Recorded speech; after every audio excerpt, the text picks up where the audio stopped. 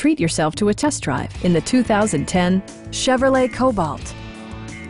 This four-door, five-passenger sedan has not yet reached the 20,000-mile mark. Under the hood, you'll find a four-cylinder engine with more than 150 horsepower, providing a smooth and predictable driving experience. Comfort and convenience were prioritized within, evidenced by amenities such as delay-off headlights, speed-sensitive wipers, a trip computer, an outside temperature display, and much more. Side curtain airbags deploy in extreme circumstances, shielding you and your passengers from collision forces.